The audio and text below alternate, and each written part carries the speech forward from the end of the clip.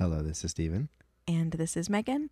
And this is the Synchrony podcast where we talk about transforming apostolic dating culture and ending loneliness in the church. Babe, this is episode number eight. Eight. And on a very auspicious weekend Yes. What Slash- weekend is that? day. Well, number one, it's Easter weekend. So we're recording this the day before we, you know, the Lord rises again, metaphorically. Uh, but that is not the excitement that we're talking about, as exciting as that is. We're talking about Launch. launch. Launch is happening. Actually, as of the time that this episode drops, it will. It's happening today. It's right now. Right now, as you're listening. Right now. If you're listening on Monday, April first, when this drops, This is the last day. you are literally inside the cockpit of the space shuttle being launched into outer space as we speak. That's or into a relationship. I don't know if I like I don't like the image of, I'm just- just like yeeting someone at someone of the opposite sex. Like yeah, yee. yeah. No, anyway, okay. We're launching. We probably shouldn't have had so much sugar before we sat down into No, this. No, this is great. We need this. Our Yeah. last one was like we were so exhausted. Yeah, that's true. Um, so the launch. This is really exciting, guys. If you have been following us for any period of time, you've heard us talk about it. Um, what we're launching is a updated and reprised and much more full suite of services as part of our matchmaking process. So, if you were involved in our beta testing group, then you might have taken a survey and done a consultation and have been introduced to a couple of people. And we've learned a lot from that beta testing process. We've gotten better at what we're doing. Um, and hopefully, we found more ways to add value to the community as we make this a more robust process for them. So, our launch uh, is going to make available not just the actual matchmaking process, but also the Synchrony community, which is a really big deal. And I think something that's going to totally transform how we're interacting with people um, and helping them to connect with others. So that's a, a closed online forum. Um, it's administrated by, you know, me and Steven, and it's only open to people who have gone through the Synchrony consultation process. So it's a nice, cozy group, and you can rest assured that everyone in there is who they say they are and um, has sort of been vetted by us. Um, but we're going to be doing a lot of stuff in that community space. So we're kicking off with a launch party. Whoop whoop. Yep. That is happening tonight if you're listening to this on April 1st. Yep, tonight, 7:30 Eastern. Uh, so if you are already part of the Synchrony community, put it on your calendars. Make sure you come hang out. Bring a snack if you want. And it's not a prank. Not a prank, yeah, not an April Fool's joke. Um, so we're gonna get together and do our launch party tonight, and really that's gonna be us just kind of setting the vision for the project and doing some fun stuff and getting to know people a little bit more. Um, but we're also gonna be putting a lot more stuff out into that community. So we have some courses in progress that are gonna help Actually, people. two, right? Yeah, yeah, tentatively that are gonna help people um, just really put a bunch more tools in their dating toolkit, right? Yeah. because our mission ultimately is not just to match make people through synchrony it's to make them better at dating in a godly way Yeah. um so Hopefully, hopefully they learn something from this process that they can use in their own daily life yeah. And maybe find someone outside of us. yeah i'd love that too. So we're looking to just equip people in whatever way we can. We're also going to be hopefully doing some recurring like social meetup events on that. And Yeah. we already have some stuff going on like where you can do challenges and interact with each other. It's really fun. So that's uh, one of the main things we're adding but there's more to come that i'm excited to share with folks. I'm just going to leave a teaser here. If you haven't gotten involved in the synchrony project yet or if you're looking at the price of matchmaking and just kind of going like oh, i can't do that right now i also want to encourage you that eh, going through our matchmaking pipeline and buying a consultation is not the only way that we're going to be kind of adding value. So um, I'm not going to say exactly what should be dropping today because I want to make sure it's in good shape before we do it. but we should have some cool free stuff dropping today as part of our launch um, that we're hoping people will kind of pick up and run with. So follow us on socials and keep an eye out and let us know what you think. Please do. It's exciting. So, babe, this is going to be an episode that I think uh, I'm mostly going to be interviewing you about. Uh oh. yeah. Um, so try to keep it, you know, PG. I'll try to keep it G rated. yeah, yeah, G rated. We're apostolics. What am I saying? um, I want to talk about male involvement in the Synchrony project. Specifically, as we're talking, you know, we're talking about the launch and people who are involved. If you've listened to any of our episodes before, you've probably heard that we have a relatively high number of women compared to men in the project. And some of that we've talked about is about access, right? Yeah. It's about like the algorithm and where our stuff gets filtered and the avenues that it gets filtered through, and just the proportion of apostolic women who are on social media compared to men, I think. Yeah. But I think there's something else that's impacting it, and I want to talk about that today. So let me start off with this question. Based on your experience talking to men about matchmaking, do you think they're generally hesitant to try something like this, and why? From the guys I've talked to that are in the market, um, I think there is a little bit of a hesitation. I mean, it's a mixed bag. You have Mhm. some people that are excited about it, that are open, more open minded to it. Um, but then you have some people that have a meet. they immediately say it takes the hunt out of it, or it takes the Mm. the the pursue the pursuing aspect out of the relationship which often guys perceive to that be their job You said two things that are really important that I want to bring up. So, one is the idea of the hunt, right? And that's a metaphor that we've heard used for dating for a long time, yeah right? Um, as a woman, that's a difficult metaphor to get behind because it makes it, you know, the, the idea of the, the thrill of the chase, right? Or the hunt yeah it makes the woman in this scenario out to be prey, something that is caught or trapped. yeah sure And that's a little difficult. But I also think it connotes like, you know, men who hunt, who who catch game. There's like a certain level of masculinity that comes with that, right? Like in our Western American Association, men who go out and hunt or who uh, chase or who pursue. There's there's a level of um, we like we associate that with being manly, right? I'm making stereotypes here. I know that Sure. not everyone's gonna be like yeah wearing camo on the weekends and stuff like that. I'm not trying to say that every manly man has to go out and get bloody and dirty every weekend. Um, but I think that's an interesting point because what you're saying is that the the dating world as men have been taught to perceive it is very much about them acting out one specific flavor of masculinity. Do you feel like I'm taking that too far? Like does that make sense? i think that's fine i think that's okay to say but i think societally it is kind of at least perceived to be put on the man Yeah. and so what what happens is if you say hey you know i need help finding someone Mhm. is that making me less of a man Right. you know or are people going to think of me differently Mhm.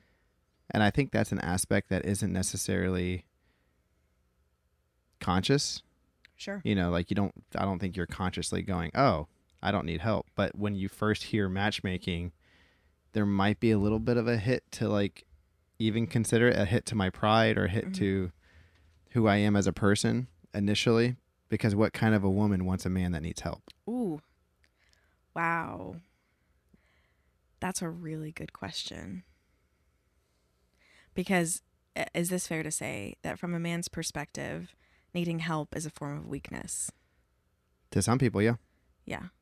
Or has been, um, and not say to a man's perspective, in the way that our culture has sort of um, painted masculinity. And when I say culture here, I'm talking about Western American. yeah culture. sure i think it's it, to, to to generalize men Mhm. and to say all of them feel that way would be unfair As dangerous. Yeah. yeah. it's very unfair um but what i'm talking about is there's not a book written on how to i mean i guess there is there are books written but there's not a perfect way to find someone. There's not like a you don't like turn 13 and get like a field guide, Yeah, exactly. There's not Like a field guide for lighting a, a fire you- in the a woods. YouTube you know, video series. That's what I'm saying. So like this is something that I think is expected to be inherent hmm and it's not. Yeah. Okay. So that idea of something being inherent, I think what you're getting at is that we expect men to operate on a male instinct about Yes. some of these things. Yeah. And like, go, I'm going to go to the stereotype of like men who don't ask for directions, right? Which is like a common joke in our culture, right? That Yeah. men won't ask for directions on a road trip. And women are like, ask for directions, pull over here, talk to this person. And I was like, no, I can figure it out myself.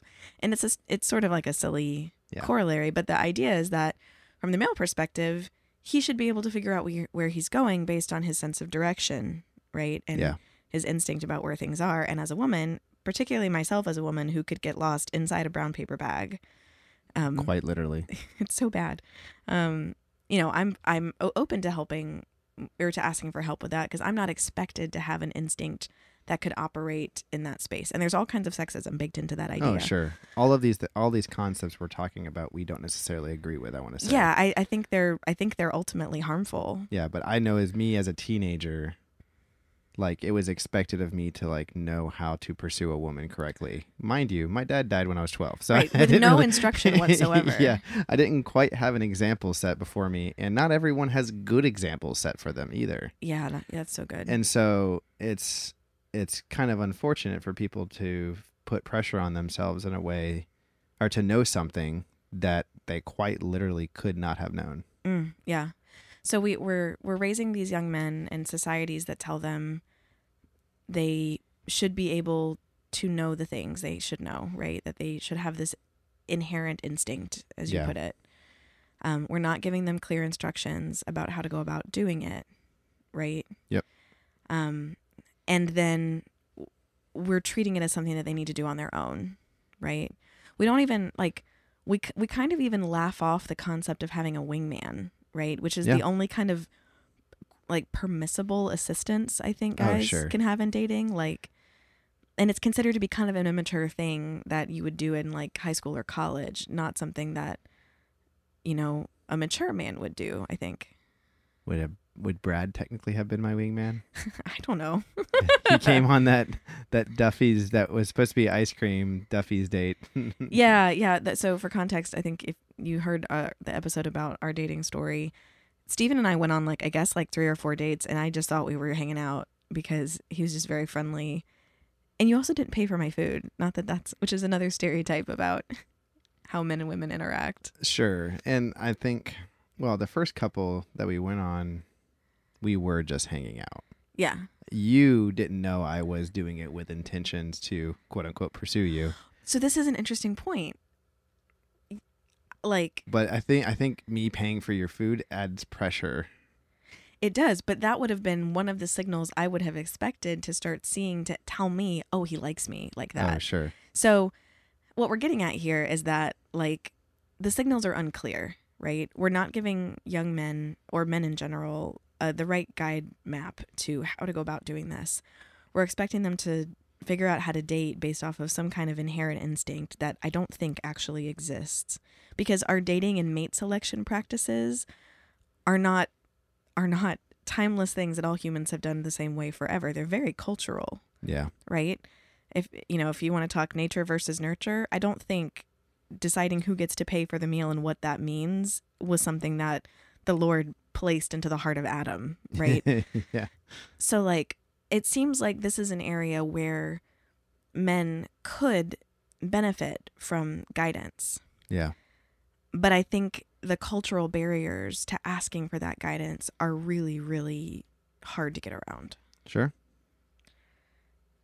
So I want to talk about other places in life where it's normal for men to ask for help. In places where they recognize that a different perspective or a different level of skill is needed. Okay. Um, and I have a few that I wrote down. I want to get your thoughts about how they map to like the matchmaking experience. Sure. Go for it. Okay. This one actually came from my dad. So shout out to my dad who listens. Um, he compared what we're doing as matchmakers to somebody who uses a fishing guide. Yep. And if you know my dad, the man would rather be somewhere on the water with a pole in hand than just about anywhere else. It's very true. Yeah. Um so he he says that you know matchmaking is like using a fishing guide because our responsibility as matchmakers is to take people to the you know to give them access to people that they might not normally meet in the same way that a fishing guide will take someone who's unfamiliar with that particular waterway to the place where the fish are. Yeah. What I love about this parallel is every level Mhm. of fishing skill uses a fishing guide What do you mean? when you go to a new area. If Oh, if you're okay. wanting to catch trophy fish hmm or if you're wanting to catch um, you know, if you're not wanting to go to waste your time is what I mean. We're not we're not comparing women to fish. Just No, that's no, where the metaphor dies off. Just letting you know, guys. No, Go it- ahead. it's not. But oh, I'm saying if you're going to be serious fishermen Mhm. in an area you've never been before, Yeah. and you only have a certain amount of time to do it, you're not going to waste your time and fuel driving around your boat looking for a spot, Mm, wishing to find a random location, yeah. unless you have weeks to scout it out prior. Or you could hire someone who literally knows the area like the back of their hand and know Mhm. where every fish beds and in which season they do it. And they can take you to all the areas that they know, or even seek out multiple fishing guides if you want to be really serious about it. Mhm. So I, I think what's really cool about that parallel is just we're not saying that you are unable to find someone on your own. We're just saying matchmaking might increase your chances Mm. to go straight to the right pool of people that you want to be looking for. Yeah, that's a really good point. Like a fisherman who is extremely skilled is not less of a skilled fisherman because he uses a guide. Yeah. Right? If anything, he's more knowledgeable about the complexities of what he's doing. Yeah. And he's going to rely on the expertise of someone who knows. Like there's a there's yeah, you he know, knows that that person that he's hiring has spent dozens, if not hundreds, if not thousands of hours in that area Mhm. finding all of these spots. Right. Whereas him or he or she has been in that area for a whopping couple hours. Right. And they could be taken right to these locations Right, for the so- future. The level of knowledge is just totally different. Yeah. But what I think is really important for that like if we're taking the metaphor back to matchmaking, Yeah. asking for help in dating doesn't mean you're going to be a bad husband or a bad Oh, absolutely not. boyfriend or a bad romantic partner. No. But going back to the efficiency that I talked about in a previous episode, I absolutely love the idea of a fishing slash hunting guide Mm. because, again, if you are wanting to date seriously, and this goes for any non Christians too, Yeah.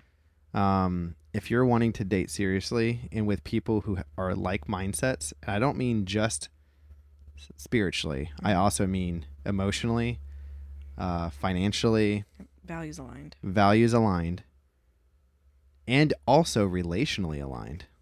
What this does is it brings you to a pool of people who all are at least say willing to say, I want to find someone that has a similar mindset as me. Yeah. Not necessarily like I have to find someone who is like me in particular. I'm saying you are going to go to a pool of people who has aligned values hmm and you know that they also want to take dating seriously too. Right. Hopefully, these people are not going to waste your time. Right. Whereas if you just ran randomly meet any Joe Schmo, you don't know their intentions. Right. I'm not saying you can't trust people out in the wild, What's, but the, what's the female equivalent of Joe Schmo? Jeanette Schmidt? I don't know. Jane Doe, Josephine Schmosephine? sure. but yeah. So, anyways, I love this parallel. Yeah. And so if you want. Again, not to compare you to trophy deer or fish, Right. But I, it's the it's the time efficiency thing. right. I take issue with being compared to some kind of game animal that needs trapping. But if you like the metaphor of the thrill of the chase or the thrill of the hunt when it comes to dating, great hunters and great fishermen use great guides. Yeah. and it just makes more sense. But. I mean, just to reiterate it a little bit, but going to a hunting, more a hunting analogy, that's Yeah. actually fixed a little bit better because you can find, you know, a lot of fish in your region, generally speaking. You're usually going to a new location to find fish that you never would have other found before. hmm Same thing with hunting. Like usually you travel out of state to Mhm. hunt something that's not in your region. Yeah, my dad has has this sort of like long term dream of hunting elk. Oh, I absolutely want to hang on to his coattails and go on that trip too. Yeah, I bet. Uh, it's beautiful, but it requires. I mean, you have to really find someone who knows what they're doing. That's the thing. You're spending tens of thousands of dollars on this trip. and it's risky if you make a mistake. Yeah. Like that's something we haven't talked about, but relationship risks are expensive in terms of not only the emotional cost to you, Yeah. but the time and energy and the social issues that come up if you make a, a poor choice about dating. Yeah. And I think that's as you know, when when you're dealing with something as risky as who you spend your life with, Yeah. it's good to have a good guide. And so, just to finish, con- to conclude this point, when you go to Colorado, you are going there to find something that you do not have in Florida. Mm.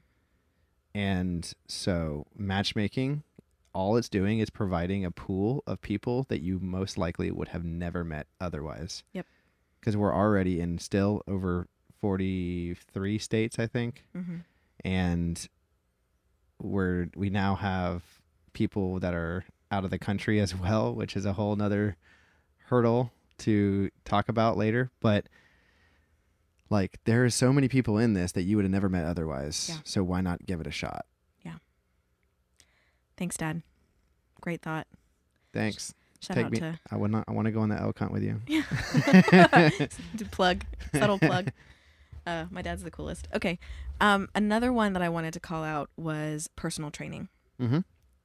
So if you are a man and you want to build a particular kind of physique or you want your body to perform differently, This actually might work better for me to ask you this because you just got done doing stuff with Andrew for a while. oh yeah, Andrew was my weightlifting coach. Yeah, but you can still use it for the same example. Yeah. Like, what? Sorry to flip the question on you mid mid podcast, but what did you get out of personal training that you wouldn't have gotten otherwise Oh my goodness. Um, compared to matchmaking? Yeah. So, it, for some context, I worked with a, a weightlifting coach who trained um, college Olympic weightlifting teams. He was Yeah. he had a PhD. He was extremely knowledgeable. Um, so I don't want to try to compare what I know about matchmaking to his knowledge of weightlifting. no, but still. yeah, but what it gave me working with him, and like the whole group that he was working with, He had micro classes and he had like five to ten people, Yeah, and he was was awesome. and he had training sessions for like an hour blocks throughout the whole entire day. Yeah. And so you would be usually going with the same people every class, It's but so he was very pretty one on one. Like he could stop what he was doing and coach you on your form and everything like that. yeah, I mean, it changed my life. But I think the the key things that I got from it that would have been totally different at any other gym. One, I had confidence, right? Because I felt like Andrew was in my corner. It's amazing to have a coach who believes in you. And I never really did sports, so like I, that wasn't really a thing. I, I did Bible quizzing, which I did have great coaches there, but it's different, right? Yeah. Physical performance is not an area where I feel confident at all. Um, and having a great coach like Andrew was really important to me because it gave me the sense that I could do things I hadn't tried before. I could do new things. I could push my limits. Yeah.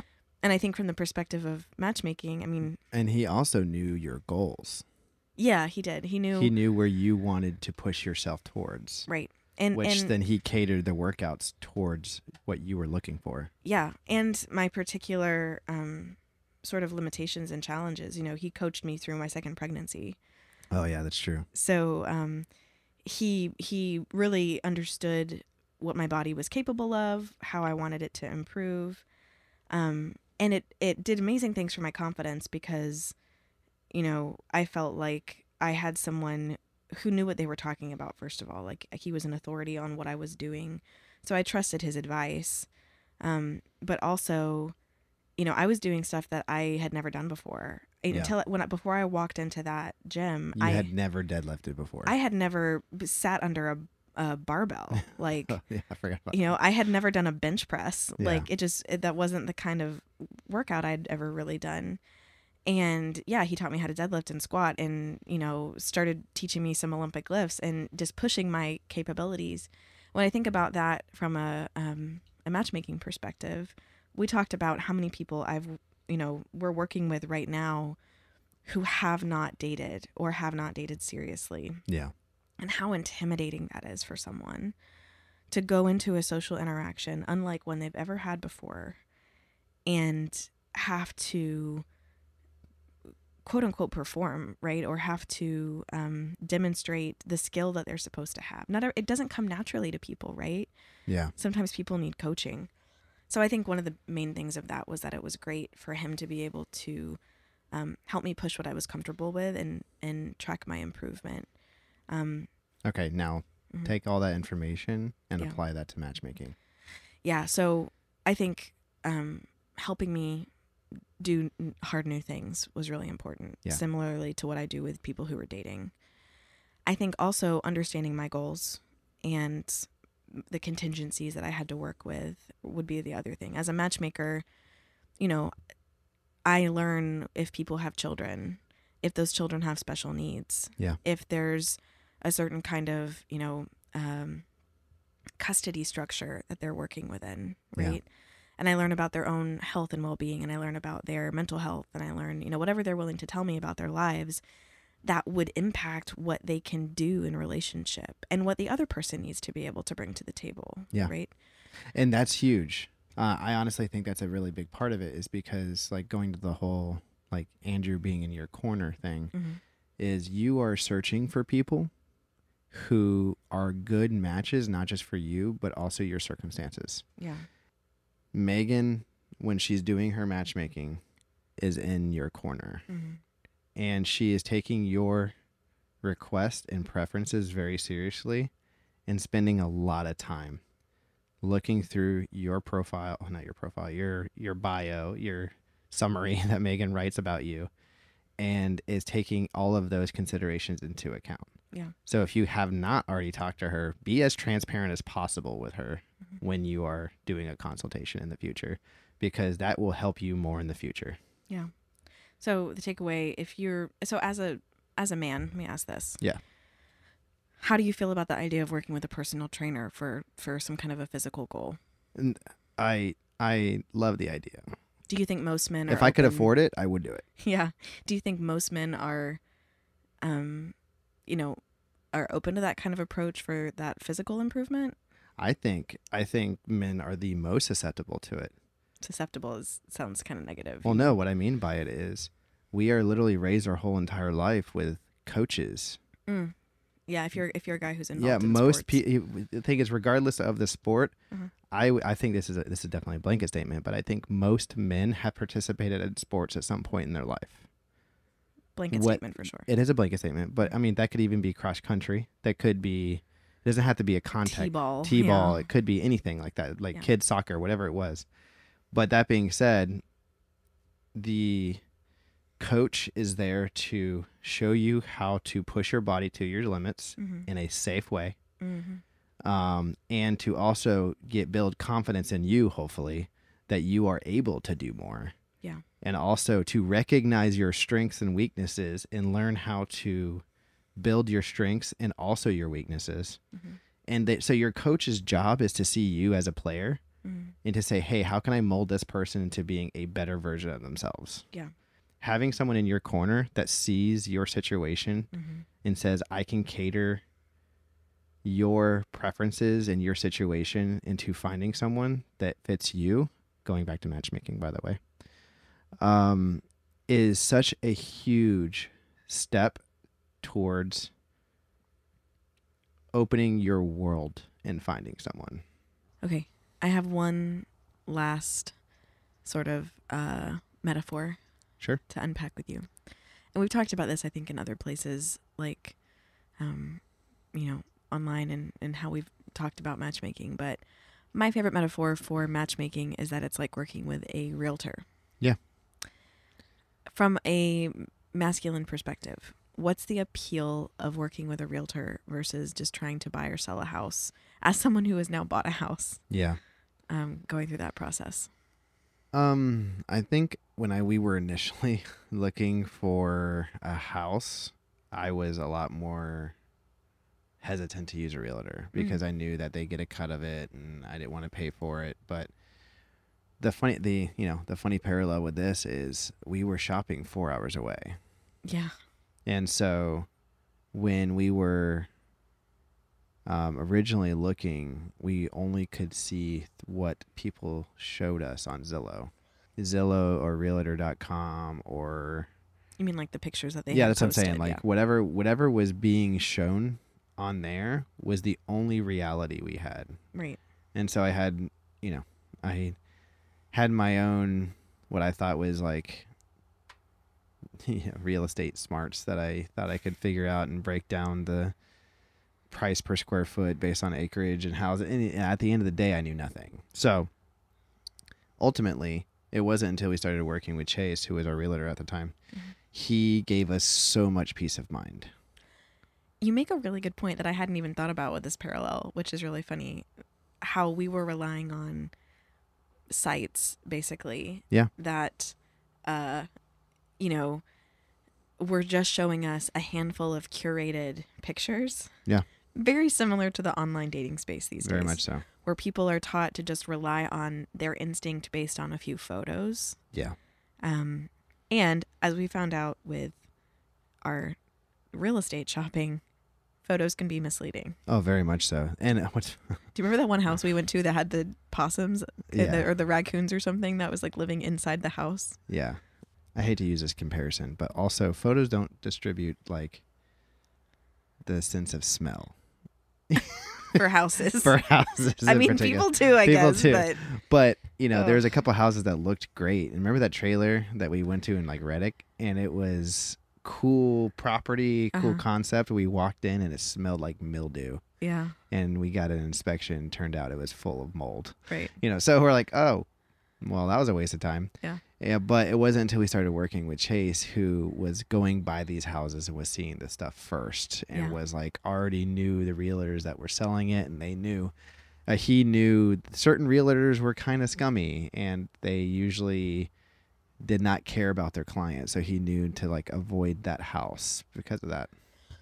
So that being said, kind of going to the fishing and hunting guide slash personal trainer slash realtor, it's like he was in my corner, um, saying, "Hey, I've been around the block or time or two in this area, Mhm. um, and I now know what kind of property you're looking for, what Right. kind of house you're looking for, what size, um, and what level of correction you're willing to make to the house too." Mhm. You know, he knew we weren't looking for a brand new house, and, and not to compare that to people, but like Right. but it's it's he knew our preferences and he was sending us all of the houses that he thought matched.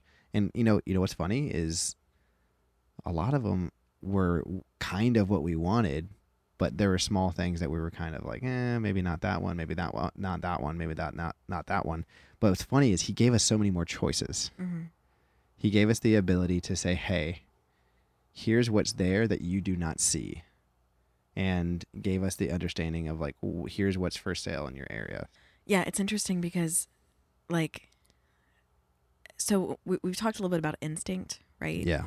and how like chase in this example a realtor had developed sort of an instinct around this is the kind of house you can probably aim for this is what you'll find in this area this is the kind of realtor you can trust like Yeah. you know had Yeah. understood the lay of the land if you're a, the average person who's dating who has not found a partner yet chances are you haven't developed a really bulletproof instinct about how to ask the right questions Yeah. to find someone who's a good partner now, I don't want to make it sound like I did tons and tons and tons of dating myself or that you did, but I have done 130 ish interviews with people directed at figuring out what kind of a romantic partner they could be. Yeah.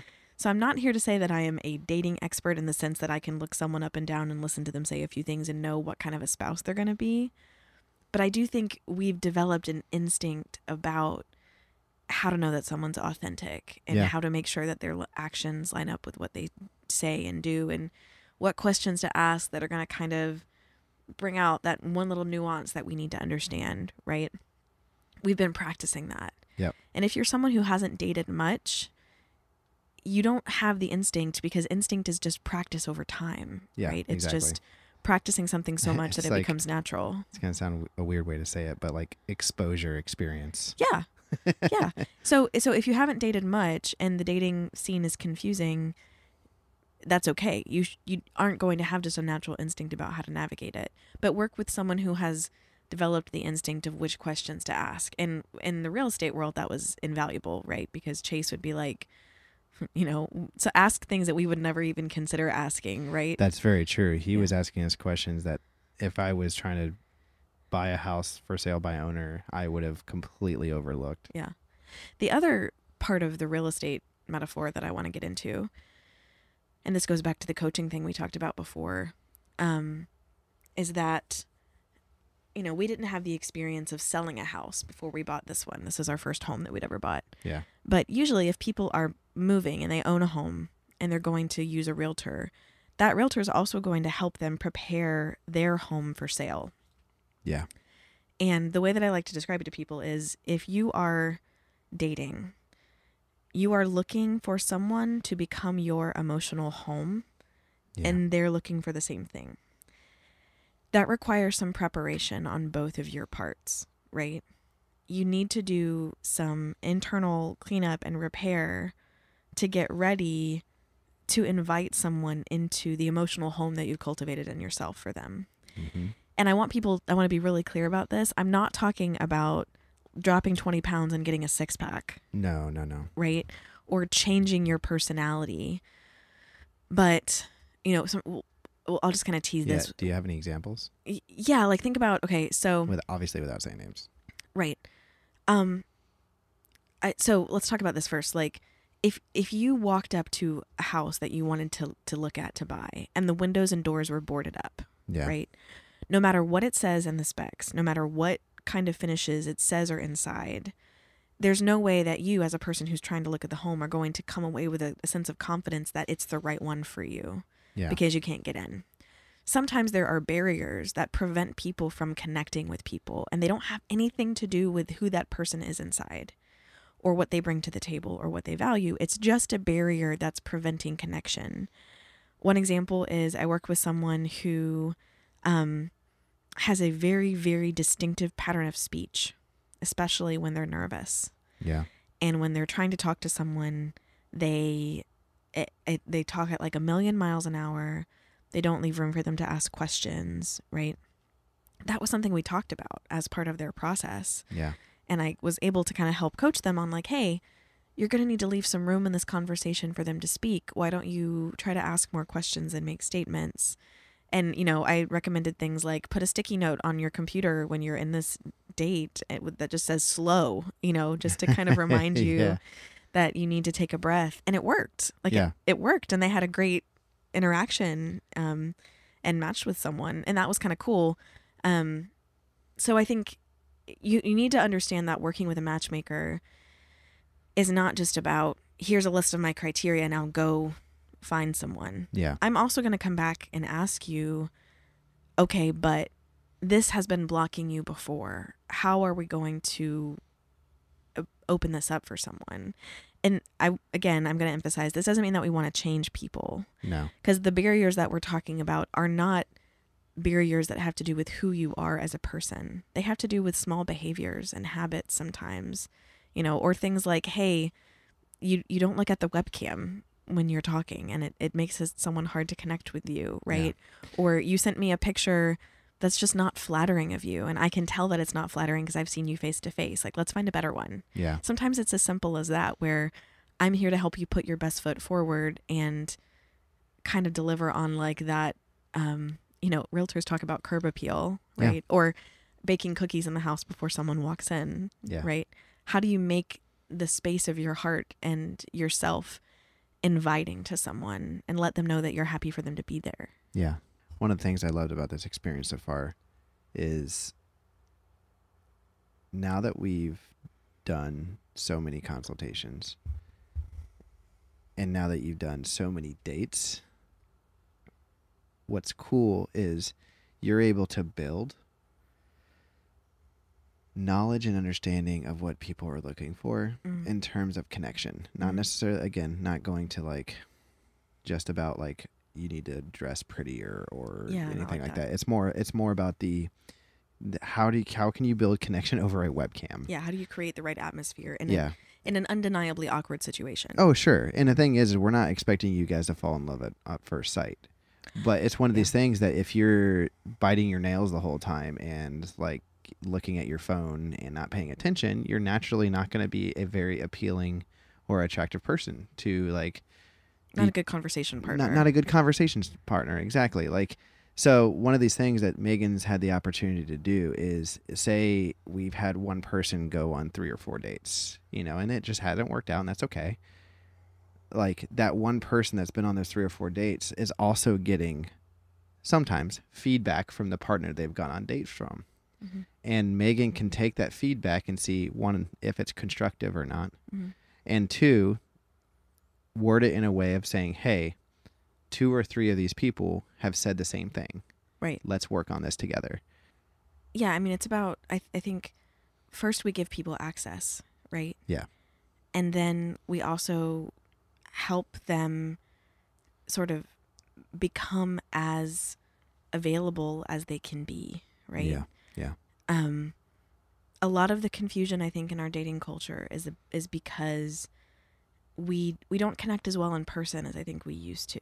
There's some data around this, right? Like as a as a culture across the board, we're finding it more and more difficult to create deep interpersonal relationships yeah right um and you know i can't fix that entire global problem but help having someone who says hey making this tiny change might help you build connection. Yeah. Can be really valuable. Um, and it might be something that you're just not aware of right? We're creatures of habit. We we do lots of things over time that you know are just unconscious. Being able to have a, a neutral kind of third party look at what you do and say hey you know what if you tweaked the way you said this or how you approach this a whole nother world might open up to you um is kind of cool. And i think you know we're we're also learning all the time. I mean i think one of the benefits of working with someone like us is that you're like we're studying this. Like yeah. we're talking about it constantly and talking to people about it. And i'm you know trying to do as much research as i can about human connection. So we're going to keep adapting the approach as we learn you know um and hopefully making it easier for people to to connect okay so recap we talked about why men might be hesitant to use matchmaking and we talked about other ways that they might ask for help in, in modern society because they need, you know, they, they want expertise in certain areas. So whether they're fishermen or hunters or are looking to improve their physique or looking to buy or sell a house, those are spaces where people are comfortable asking for help uh, and, Yeah. and where it doesn't diminish someone's sense of masculinity, right? Knowing all that, what would you say directly to men who might be listening who are just really hesitant about the idea of using a matchmaker. i would have to say just give it a shot Mm. because there's very little to lose you're not losing time because you're not changing your course of time you're not going out of your way except for an hour interview with you or me and maybe an hour date if it works out. And that's all you have to lose. And if you don't like it, that's okay. You don't you don't have to use it. At the end of the day, when you meet with these people, there's no pressure to be dating this person after this. Mhm. You know, after you go on that date, it is not a requirement. Okay, you like this person, now you have to date this person. You can choose to either do another date session with you or me, or you can choose to exchange information and get to know them better. And if it doesn't work out, it's okay. We've already had several people say, Hey, I think I want to get to know this person better. And they would text for a little while and talk on the phone and FaceTime. And after a couple weeks, it just didn't work out. And that's okay. Mhm. But guess what? They only wasted two to three weeks of their time Uh, yeah, two to three weeks actually is kind of a lot. In most cases, it's like a week. Like, yeah. They talk for a few days and they kind of know. Yeah, and so that's the thing is going into the date, you already know this person meets most of your prerequisites, if you want to call them that, of like all the big questions. So now all you have to do is spend time getting to know this person. Even here's the thing, even with a fishing guide, even with a hunting guide, there's not a guarantee you're going to find that stuff. hmm There's not a guarantee that the fish are going to be out that day. There's not a guarantee that you're going to find the biggest buck around. But your odds are a lot better. But your odds are so much better. The odds of you finding someone that is amazing is high. Mhm. And sure, it's a risk. But just like in fishing and hunting, it's also a risk that you could lose your money. hmm You know, you might go out and the weather's not good and the fish aren't out, or you have a you know you have a rainstorm and something happens. You know, like you can. There's so many parallels to that that this is just going to increase your odds of finding someone. So all that being said, it's not going to hurt to give it a try. Also, price wise, matchmaking costs significantly less than a guided elk hunt in Colorado. Oh, 100%. Hey, if you are listening from Colorado or another state, somewhere in the you know northwestern portion of the country that has guided elk hunts, and you have a connection, send us a message. No, just kidding. Please do. If you're single, we can hook you up. yeah, we'll we'll trade. Take my dad on a guided elk hunt, and and me. And me. and Steven, and we'll do our best to find you a spouse. That's right. There you go, Dad. Happy late birthday, early Father's Day. Um, but I mean, on prices though, if you want to look at matchmaking on non-Christian sites, Oh yeah, you did this. You Yeah. did research. so I did some research in this, and I and without going behind paywalls, it's hard to see some of their full pricing ranges, but I you can look at reviews and stuff, and the cheapest ones I could find were in the range of two to four thousand dollars That's nuts. for just matchmaking. The thing is, is like after so many dates, you have to pay per date after that. Oh my goodness. So on, on on the couple I looked at, but it was it was astronomically expensive. So in terms, if you're a frugal person, this is also the cheapest way, and you're gonna find apostolics. Yeah. Specifically apostolics. That's the beauty of this. So I think we've covered a lot of ground. If you are a gentleman who's listening to this and you are still on the fence about matchmaking and you have questions for us, you can always reach out in an email um, or find us on our social media and reach out. If you want to speak directly with Steven about, you know, sort of from a, a guy's perspective, we understand too that working with a woman can be weird, right? Yeah, absolutely. And Steven does consultations. Like Yeah. Steven will meet and has met with gentlemen in the project um, to do their consultations instead of me. So well, and it's just easier for men to be transparent with a guy. sure, understandably. So that's an option too. But we want you to feel like you can approach us and talk to us and ask about you know what we do and know that there's not a stigma about you doing that. Um, and yeah, if you're listening to this on Monday, April 1st, and you know this has convinced you that it's the right approach, go ahead and sign up today so that you get that $100 discount. Yeah. One of the things that we didn't talk about yet, uh, speaking of asking questions, is our questions email. Yeah. What is it? it is questions at synchronyproject.com. Questions with an S. Questions. Um, and yeah. Hey, y'all that are listening to this podcast, I know there's like at this point at least a hundred of you. Woot woot. Um, please leave a review. oh, it yeah, that'd would, be really it helpful. would help us a lot and help us get help get this message out to more people. Um, good or bad, we'll take all reviews. Yep, just engagement is great. So Rate, review, s- subscribe, Like. smash that like button. smash that like button, whatever platform you're listening on. All right, guys. uh, happy Easter or happy day after Easter. yeah, happy post Easter. Yeah. Enjoy your Reese's eggs. Hey babe, Yeah. I love you. I love you too. You know how many people are like, "This is so cringe." When we do this part, Yeah. they can get over it. Don't be jealous. That's right. yeah, you could be like us. No, God, Steven. he didn't mean that, guys.